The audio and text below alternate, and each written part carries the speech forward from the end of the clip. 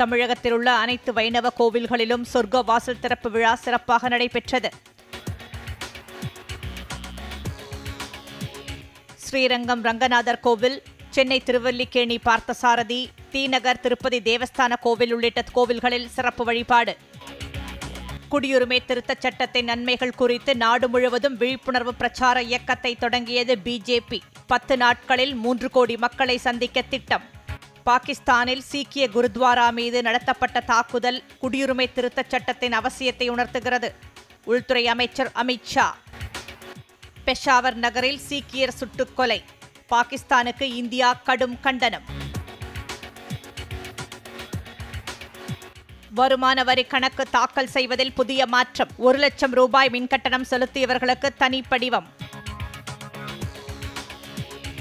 தமிழக சட்டப்பேரவை கூட்டத்தொடர் இன்று தொடக்கம். முதல் நாளில் ஆளுநர் பன்வாரிலால் புரோஹித் உரையாற்றுகிறார்.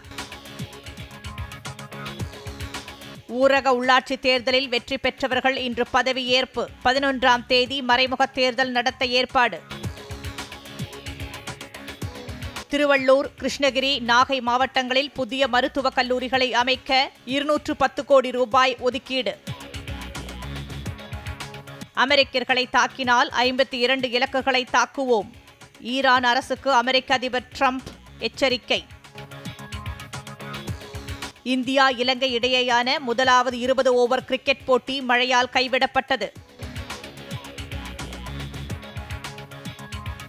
வட இந்தியாவில் வரும் ஏழு எட்டாம் தேதிகளில் ஆலங்கட்டி மழை பெய்ய வாய்ப்பு. இந்திய வானிலை ஆய்வு மையம் தகவல்.